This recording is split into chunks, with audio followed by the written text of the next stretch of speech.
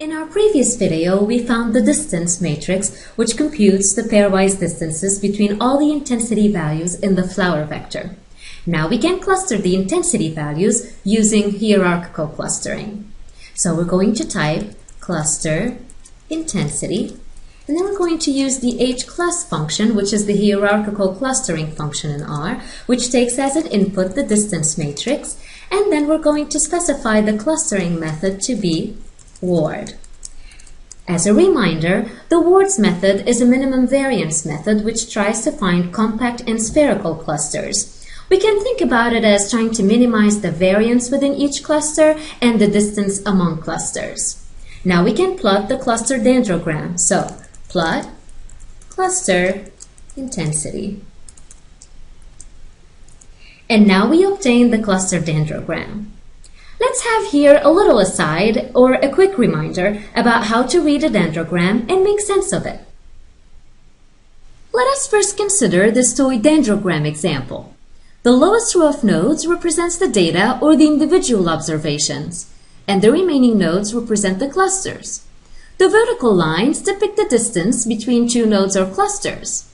The taller the line, the more dissimilar the clusters are. For instance, cluster DEF is closer to cluster BCDEF than cluster BC is. And this is well depicted by the height of the lines connecting each of clusters BC and DEF to their parent node. Now cutting the dendrogram at a given level yields a certain partitioning of the data. For instance, if we cut the tree between levels 2 and 3, we obtain four clusters, A, B, C, D, E, and F. If we cut the dendrogram between levels 3 and 4, then we obtain three clusters, A, B, C, and D, E, F. And if we were to cut the dendrogram between levels 4 and 5, then we obtain two clusters, A and B, C, D, E, F. What to choose? Two, three, or four clusters? Well, the smaller the number of clusters, the coarser the clustering is. But at the same time, having many clusters may be too much of a stretch. We should always have this trade-off in mind. Now, the distance information between clusters can guide our choice of the number of clusters. A good partition belongs to a cut that has a good enough room to move up and down.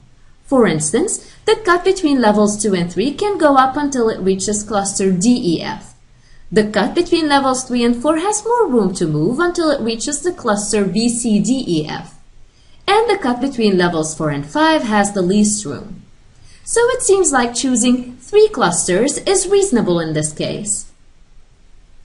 Going back to our dendrogram, it seems that having two clusters or three clusters is reasonable in our case. We can actually visualize the cuts by plotting rectangles around the clusters on this tree. To do so, we can use the rect.hclust function, which takes as an input cluster intensity, which is our tree. And then we can specify the number of clusters that we want. So let's set k is equal to 3.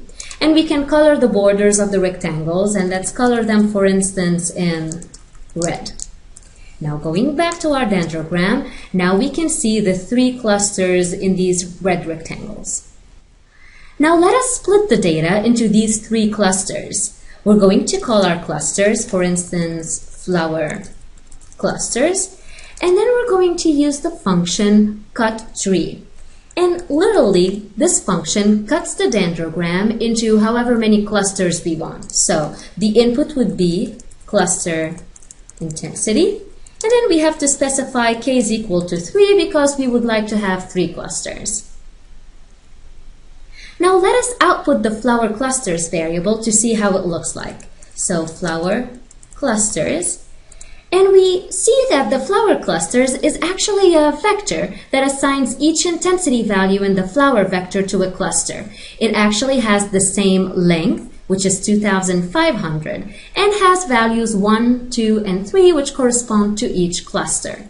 To find the mean intensity value of each of our clusters, we can use the tapply function and ask R to group the values in the flower vector according to the flower clusters, and then apply the mean statistic to each of the groups. What we obtain is that the first cluster has a mean intensity value of 0.08, which is closest to zero, and this means that it corresponds to the darkest shade in our image.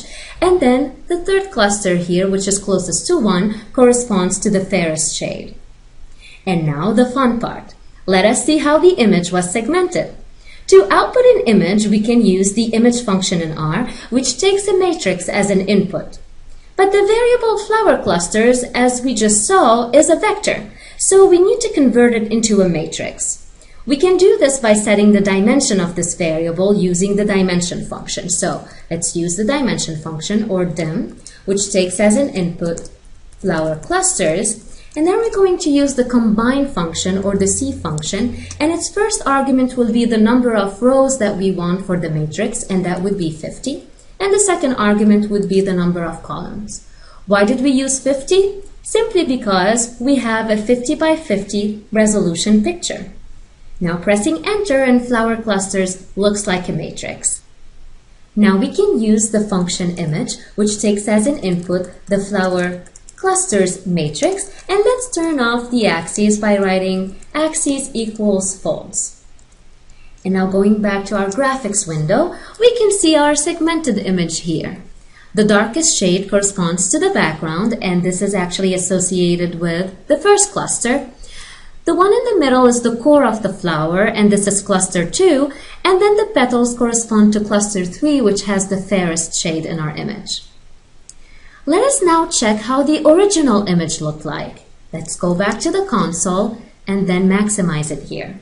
So let's go back to our image function, but now this time the input is the flower matrix. And then let's keep the axis as false, but now how about we add an additional argument regarding the color scheme? Let's make it grayscale. So we're going to take the color, and it's going to take the function gray, and the input to this function is a sequence of values that goes from 0 to 1, which actually is from black to white. And then we have to also specify its length, and let's specify it as 256 because this corresponds to the convention for grayscale.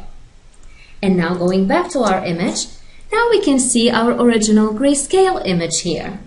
You can see that it has a very, very low resolution. But in our next video, we will try to segment an MRI image of the brain that has a much, much higher resolution.